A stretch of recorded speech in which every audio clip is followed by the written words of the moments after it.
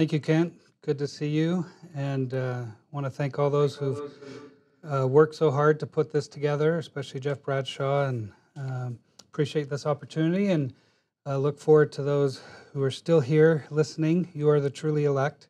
Um, today I'm just going to talk a little bit about um, Enoch and particularly try to explore the relationship between ancient texts and the book of Moses.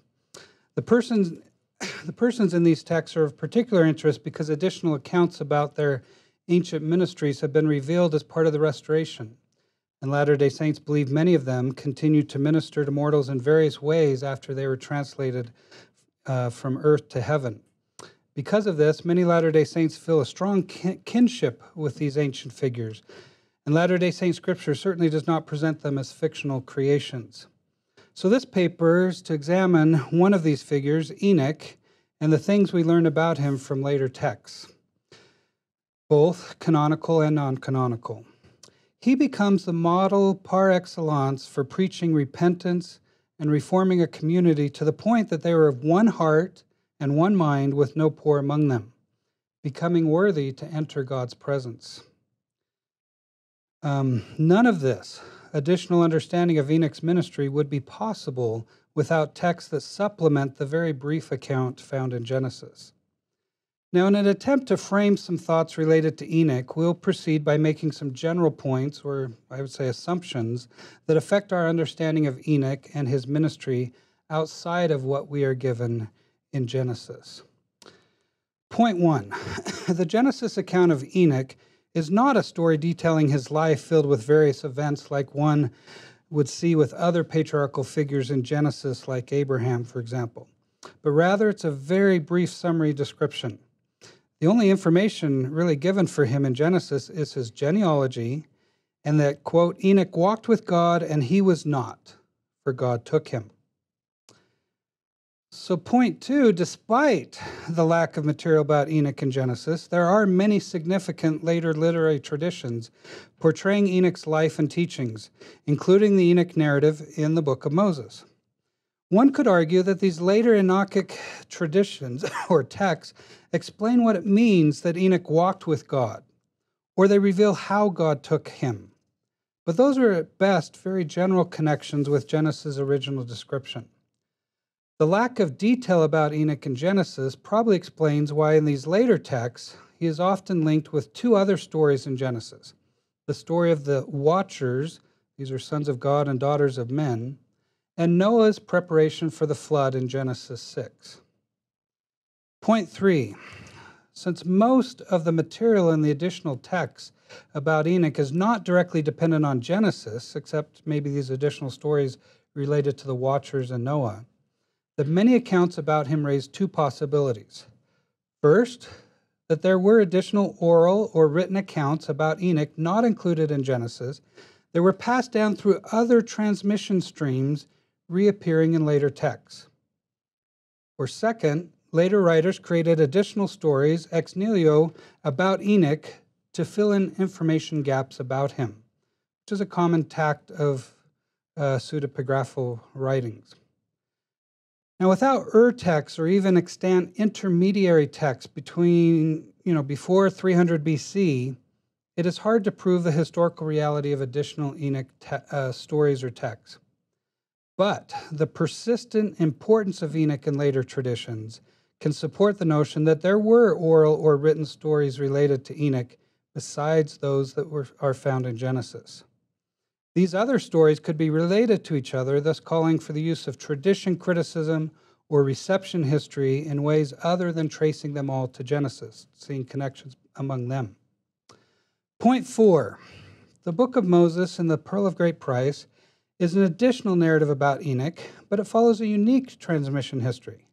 We do not have ancient versions of manuscripts or translations that were passed down through the centuries with which to compare it.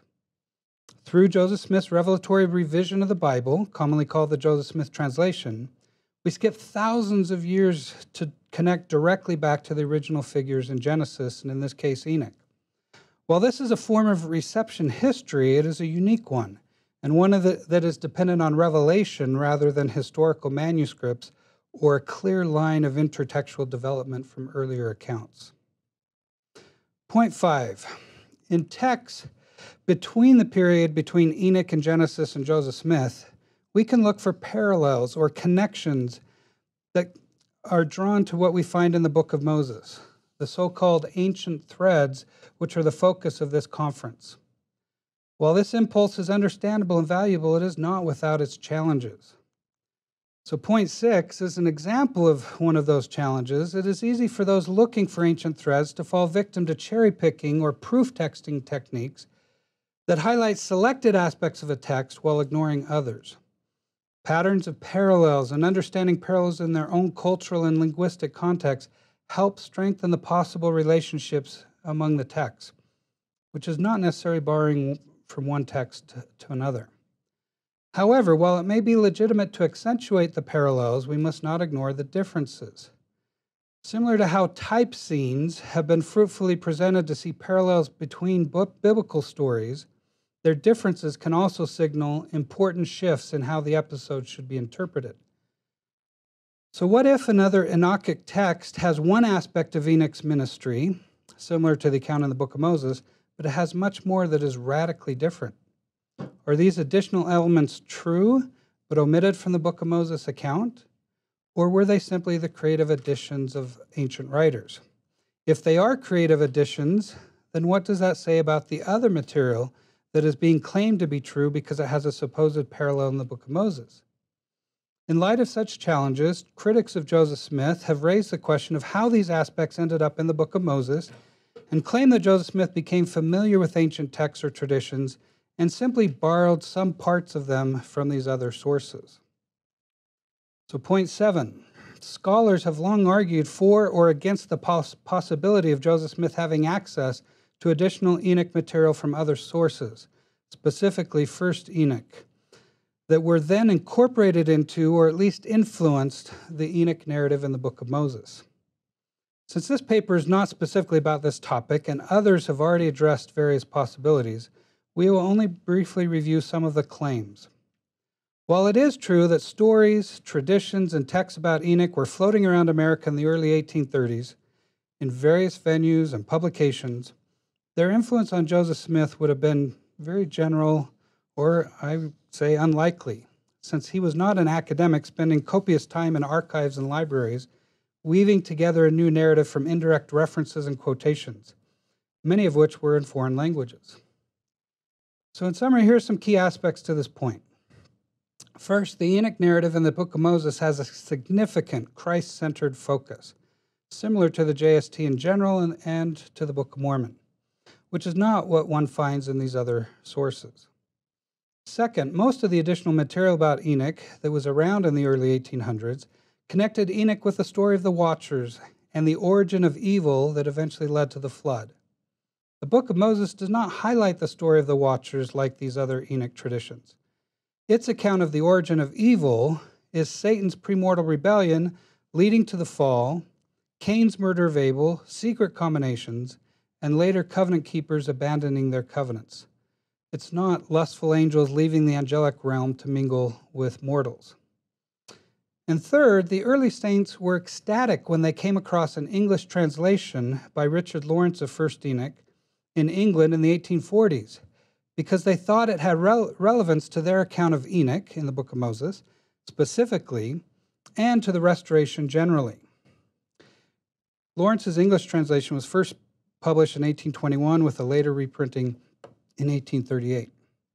Their excitement at having found a lost Enoch text and their likening material from such a text to the unfolding restoration lends support to the idea that it was new to them.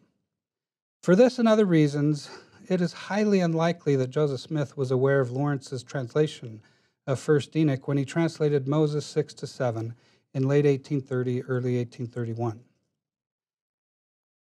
Point eight In comparing ancient texts with the Book of Moses, it is important to focus on the historical context of the ancient texts and their relation to other Enochic texts. When carried out as carefully and as completely as possible, then one can make plausible arguments for the existence of additional oral or written traditions about Enoch that were not recorded in Genesis but passed down in other ways, and that could have made their way into the book of Moses through prophetic revelation. If facets of a tradition are found in multiple texts that dem- demonstrably could be dependent on each other, it increases the likelihood that they go back to an earlier original source. Thus, while it is interesting to compare parallel stories and traditions between the Book of Moses and earlier Enochic texts, we need to be cautious about our claims in light of the fact that evidence of historical transmission between the ancient texts and the Book of Moses is lacking.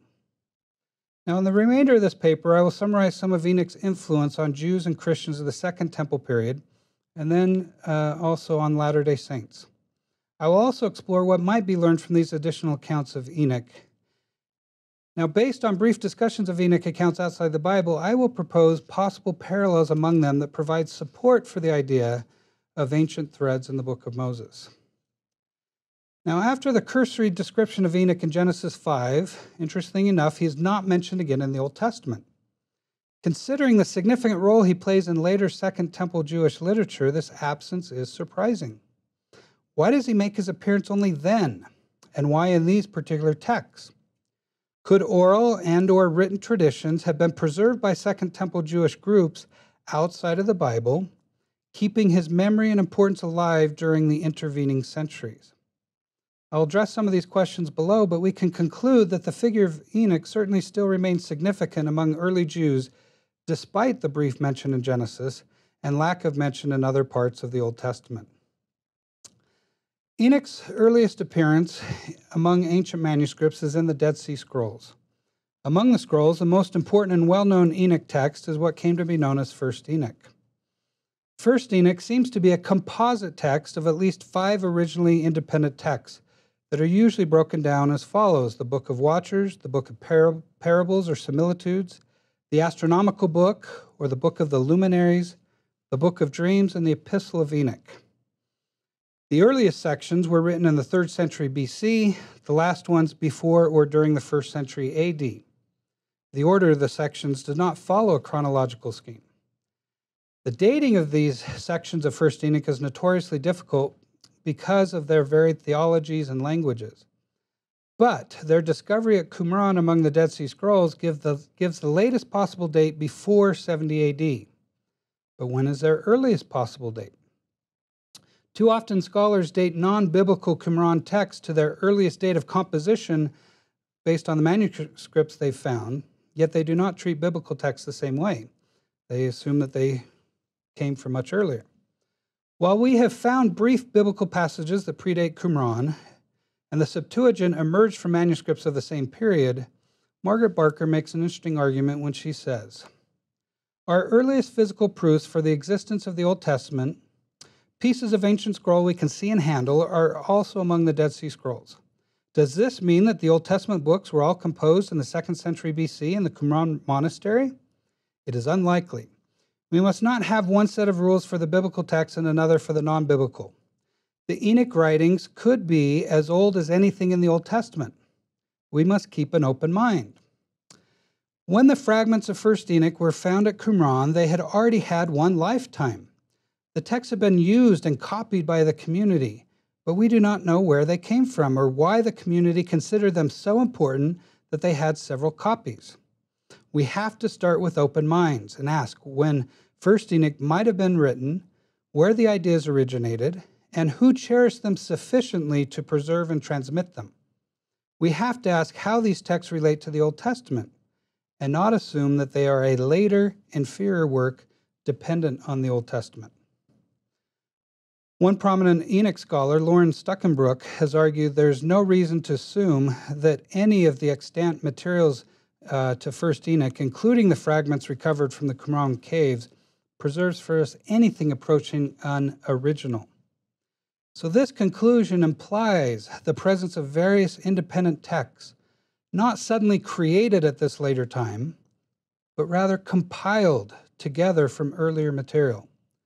This situation increases the possibility that there were additional traditions about Enoch outside the canonical transmission stream that could have had more ancient roots. The Dead Sea Scrolls include not only fragments of texts like 1st Enoch, but include additional Old Testament retellings that expand on Enoch and other Old Testament figures.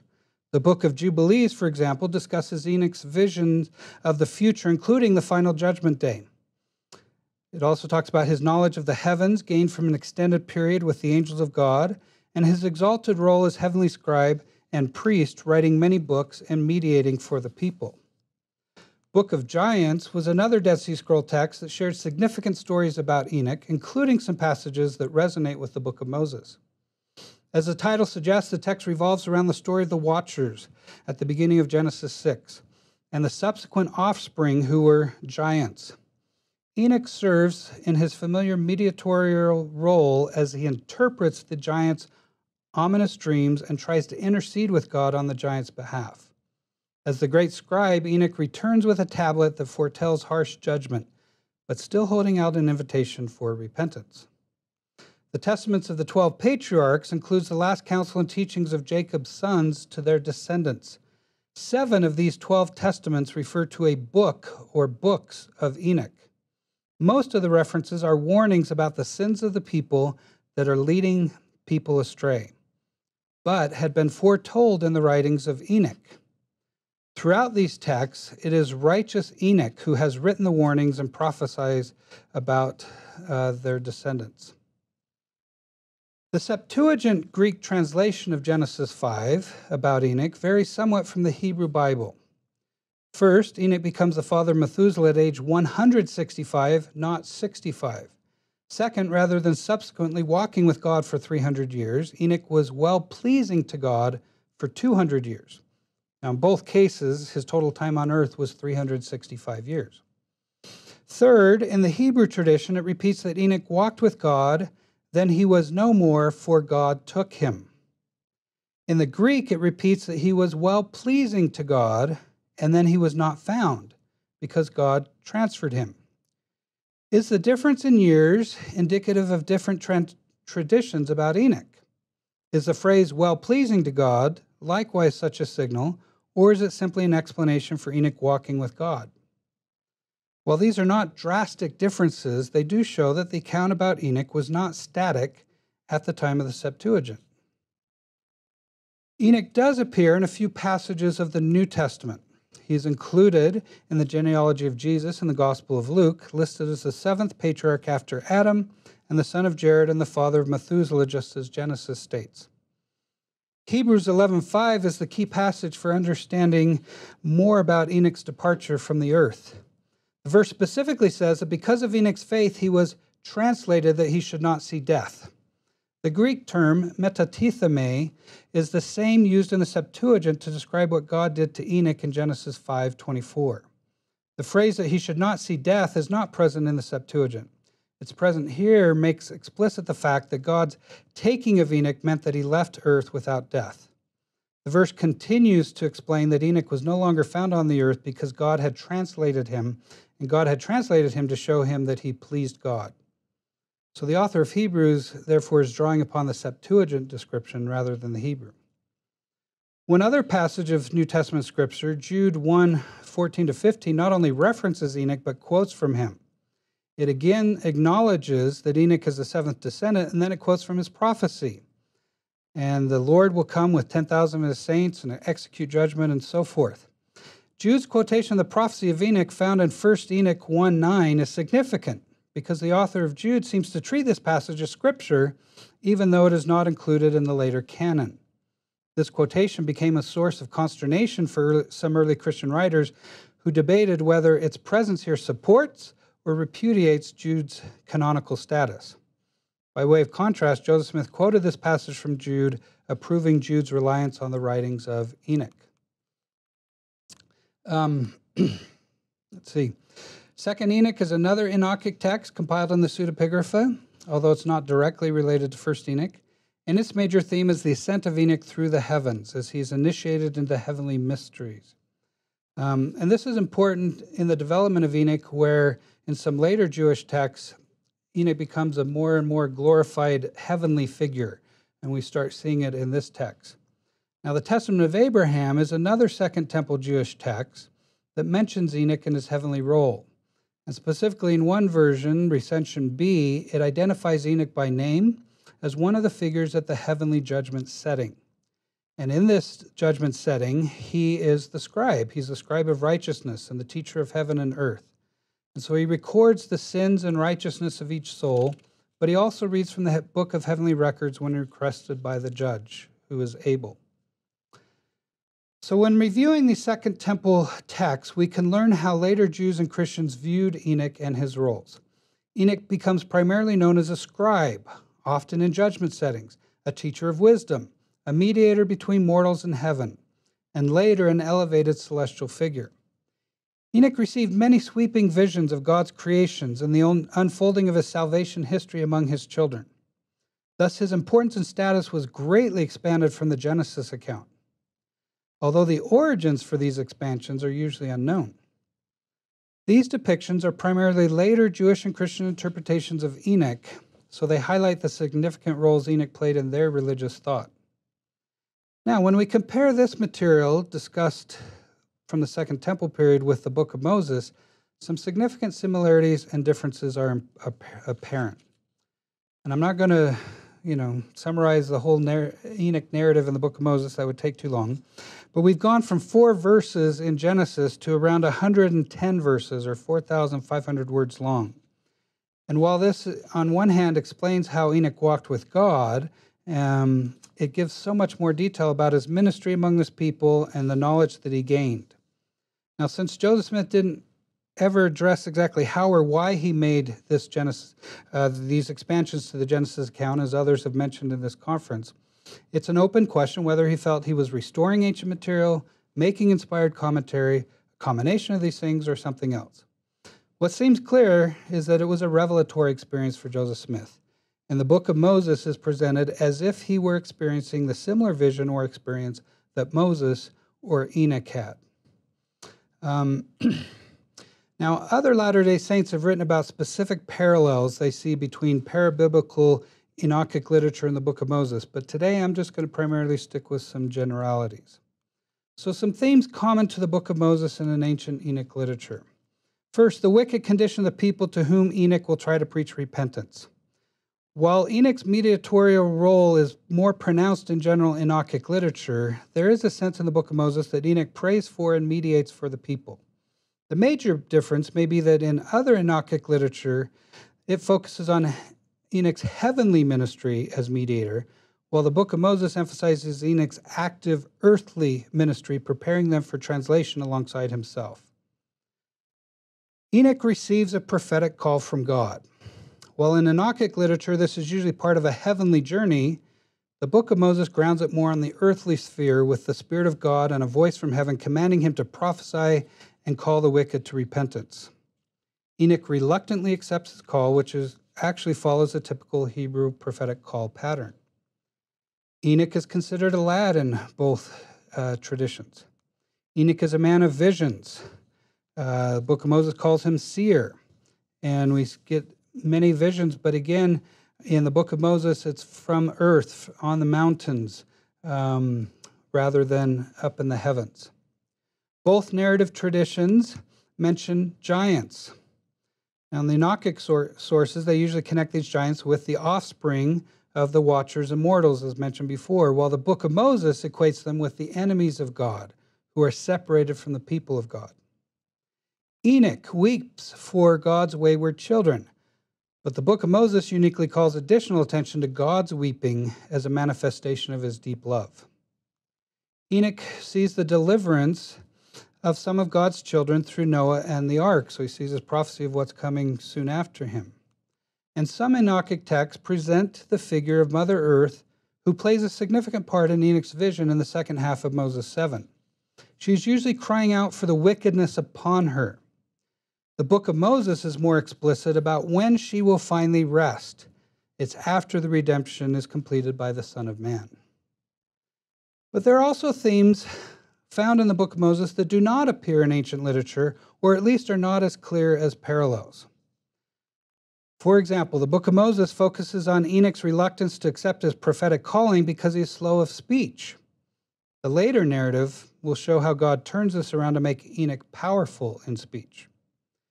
Besides teaching about God and the creation, found in other sources as well, in the book of Moses, Enoch teaches more about the fall, its effects, how to overcome those effects through coming unto Jesus Christ. This Christ centered doctrine includes discussions on the plan of salvation, being cleansed by the blood of Christ, and we see also the use of important titles for deity man of holiness for God the Father, and Son of Man for Jesus Christ. The title Son of Man is not only ubiquitous in the Gospels, but in many Enochic texts as well. Here and in the Gospels, it is clearly identified with Jesus Christ, but often in the Enochic texts, it refers to Enoch himself. The book of Moses uses the title Sons of God for those who believed Adam's teachings and followed them. This allusion to the sons of God may be significant for the book of Moses' interpretation of the watchers, a term not used in the book of Moses. As the sons of God were not angels or other types of supernatural figures, but rather those who had believed God's teachings through Adam. Therefore, the sons, of uh, sons and daughters of men were those who rejected these teachings and who eventually lured away the sons and daughters of God from their covenant relationship with God. In the book of Moses, the people of God experience great things as the Lord dwells with them and the glory of the Lord falls upon them. They are called Zion because they were of one heart, one mind, and dwelt in righteousness with no poor among them. And then Enoch is told that they will be taken up into heaven. And this uh, relocation will separate them from the wicked on earth under Satan's power. This notion of an entire community be ta- being taken to heaven along with Enoch is absent from other Enochic traditions, where the emphasis is on Enoch as an individual. Enoch's preaching is responsible for this glorious outcome, but he's not granted a special heavenly status like Second Enoch, Third Enoch, and rabbinic material display, where it increasingly gra- grants Enoch heavenly powers and status, even to the point of being the archangel Metatron, and even the title given Lesser Yahweh. Um, Enoch sees the coming of the Son of Man to fulfill the planned redemption from sin and death through his atoning sacrifice. A covenant made with Enoch um, affects and protects Noah's family and descendants. This covenant not only applies to the flood, but to the last days as well. There, in the book of Moses, talks about the future existence of a new Jerusalem that will unite with the city of Enoch. And then lastly, Enoch saw in vision Jesus' second coming and the millennium. So the Enoch narrative from the book of Moses has greatly influenced Latter day Saints. While it was especially prominent in early church history, eventually being canonized in the Pearl of Great Price, its doctrinal teachings continue to inform Latter day Saint understanding of Christ's redemption and spiritual rebirth. Now, speaking in general terms, we can categorize four different stages of influence on the Enoch narrative on Latter day Saints.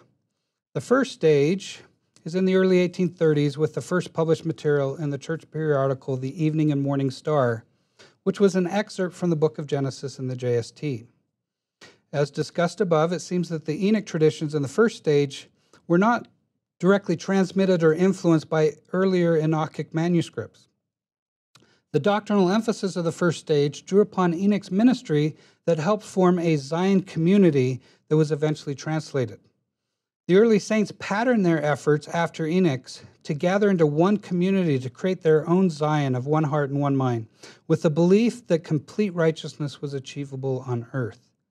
For these first generation Latter day Saints, the building of this Zion, patterned after Enoch, was probably the way the tradition of Enoch most impacted them.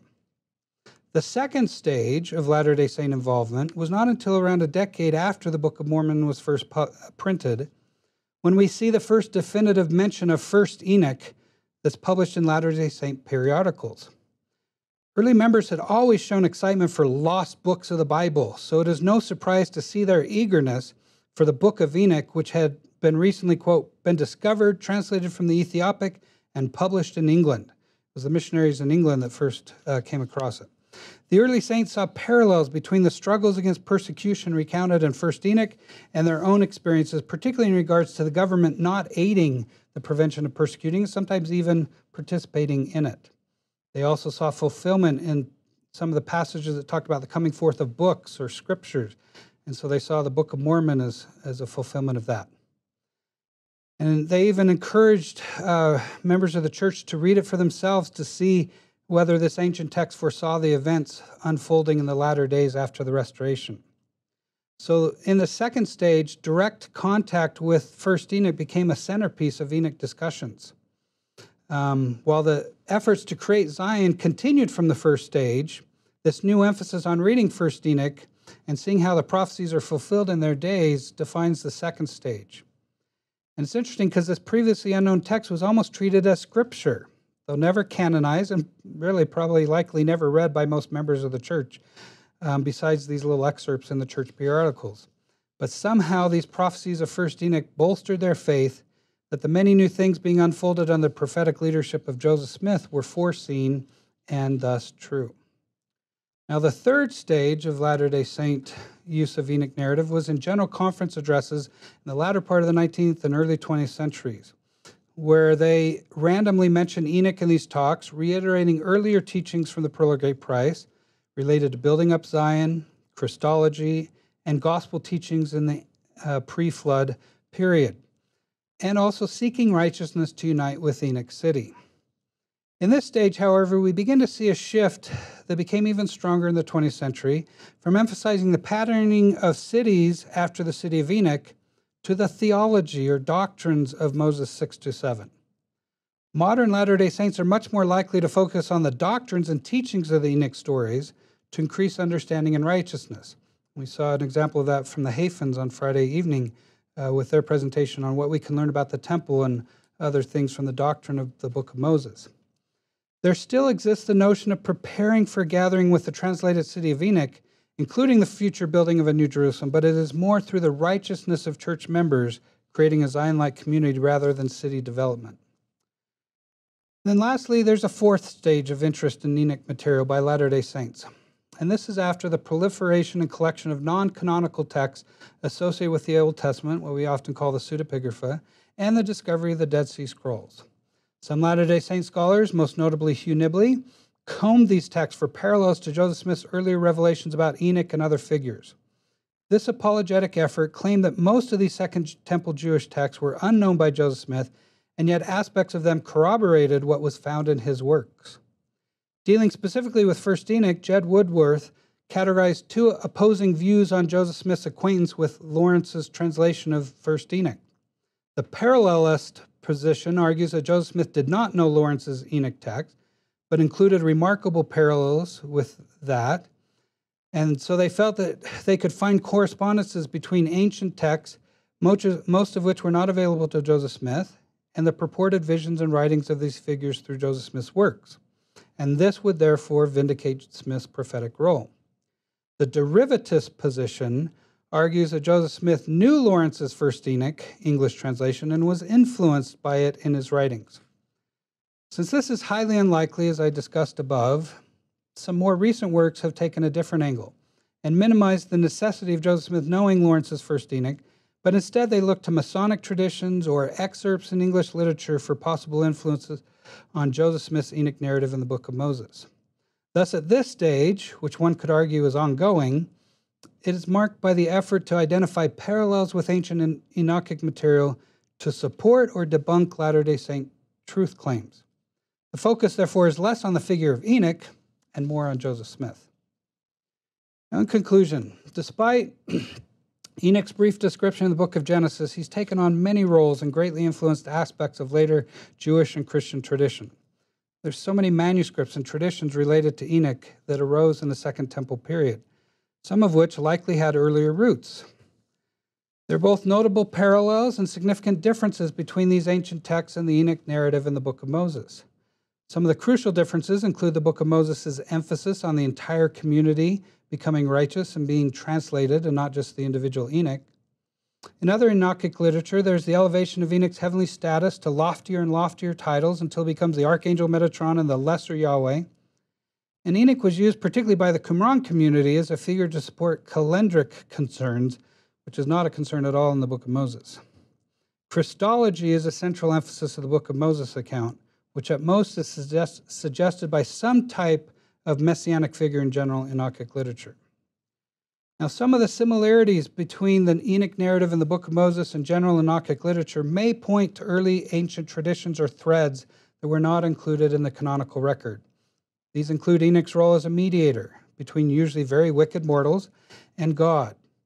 Enoch became known as a scribe with his records or books being mentioned in various sources. He is a visionary and seer who received many visions related to God's plan for his children, from the creation to the end of time, including the final judgment. As such, Enoch became a great teacher of wisdom from the spiritual encounters and visions he experienced. Finally, he's known as one who boldly preached repentance to the wicked, which resulted in an incredible community transformation in the book of Moses. While we cannot definitively state that these parallel traditions somehow go back to the same original or early source, their presence in many different sources make it possible that they were drawing upon a wider body of oral or written Enochic traditions than what is found in Genesis or could have been known to Joseph Smith. These traditions beyond uh, Genesis give us insight into why God would take Enoch from the earth as a prelude to great future events. Just a closing thought for me today is there's still relevance about these Enoch traditions. I think Enoch's story is still important as I feel that Enoch's influence on how to create a Zion like society of one heart, one mind with no poor, that this should still be relevant for God's children today. Thank you. Jared, um, it seems to me that we have three options for the Enoch material in the book of Moses. Option number one is that it's a revelation from God. Option number two is that Joseph just made it all up. Option number three is that Joseph Smith um, got the material from reading sources that were available to him. Uh, can you think of any other options besides those? Um, maybe a modification of the first one when you say revelation from God, is this new revelation or is he receiving revelation of material that may have been preserved in other oral or written traditions? And, and that's maybe another question of that aspect of revelation. Okay, so fair enough. So I'm going to I'm going to take some of your time here and make a speech. Um, it seems to me that uh, I, I obviously favor option number one. The problem with option number two, that Joseph Smith made it up, is that there is way too much really cool stuff in it that nobody could make up. And the trouble with option number three for me is if Joseph Smith had first Enoch and second Enoch and who knows what else in front of him, would he have come up with and, and so if he had those texts in front of him and decided to create a new scriptural text as a fraud or something, would he have come up with the Enoch material that we have in the book of Moses? That to me is the, the most outlandish possible proposal because even though we can see ancient threads, um, why would Joseph Smith, out of all of that stuff that you outlined for us in, in First Enoch, why would he have come up with this wonderful Christian text that emphasizes the first principles and ordinances of the gospel, that emphasizes human agency, pre-existence, priesthood ordinances, and things like that. Makes no sense to me at all. Do you disagree, Jared? I, I am on board with what you're saying here. I, I okay. totally agree because because he's not drawing really upon these texts as, and, and you know like you said the theology is completely different Okay.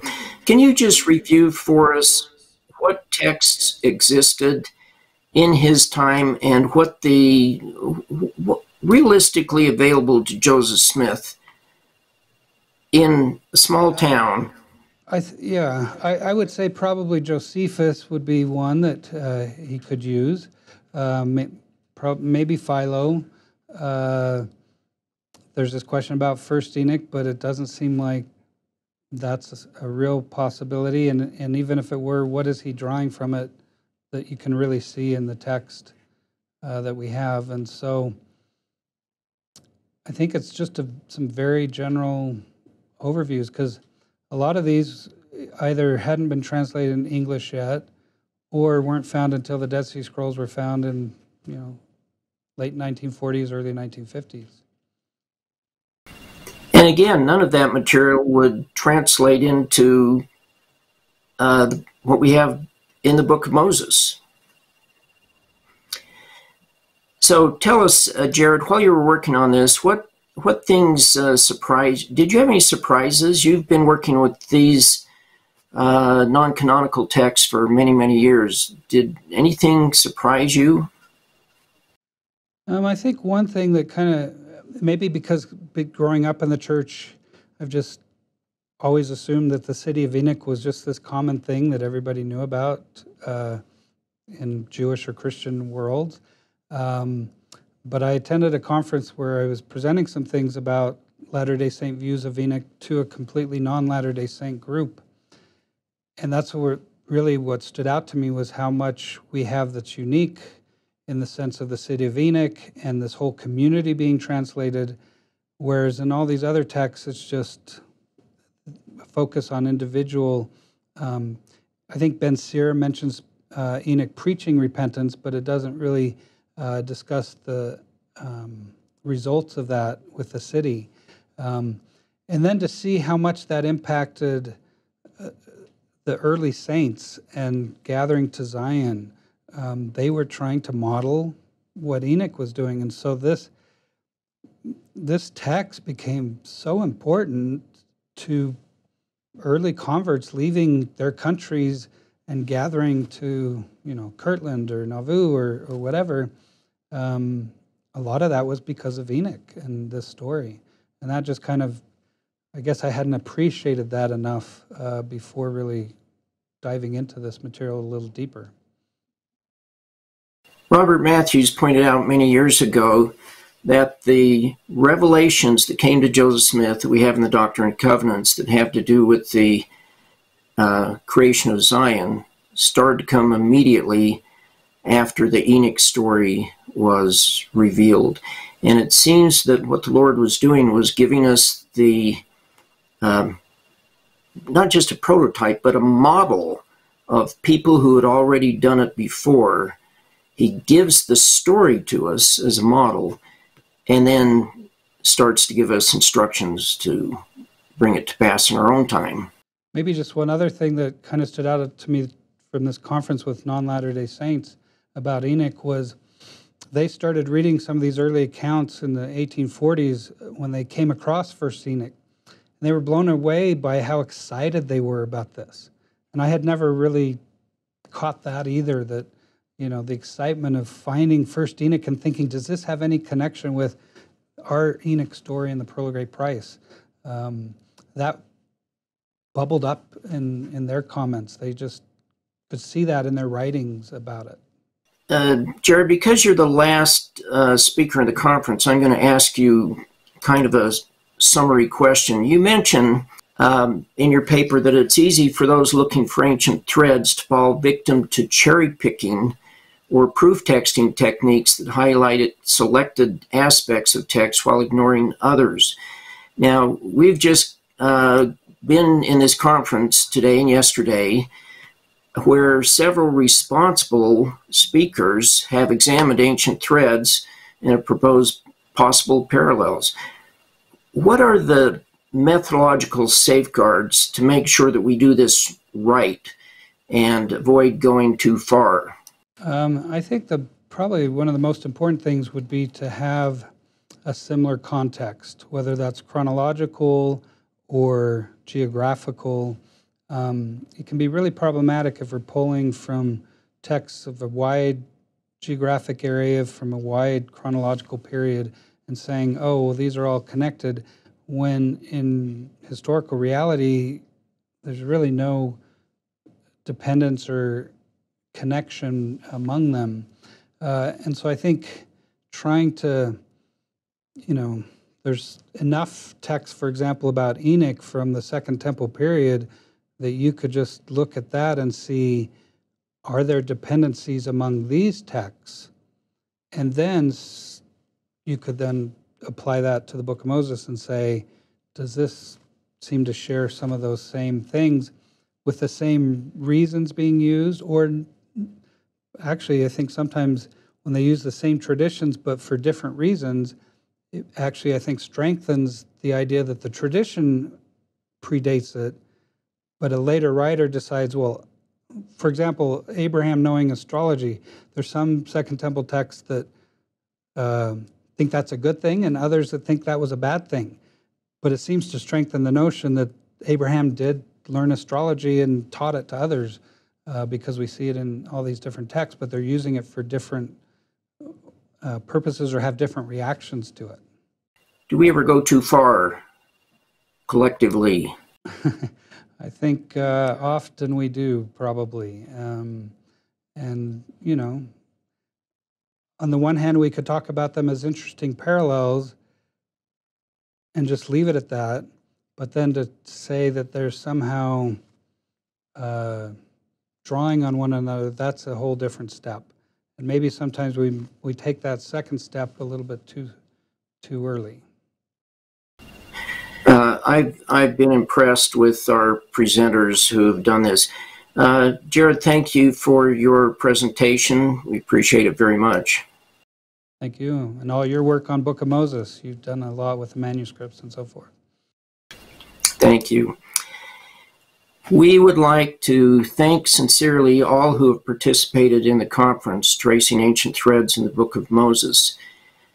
Uh, this has been a feast of good ideas, in my opinion. Thank you to Elder and Sister Hafen and to the other presenters. Thank you to the conference organizers. Thank you especially to Jeff Bradshaw, who, under unprecedented, difficult, and strange circumstances, was able to put together a conference and bring it to pass. Thank you to the technical staff for making it possible to have a conference that included on site and remote presenters interacting and to make it all stream successfully over the internet. Thank you very, very much.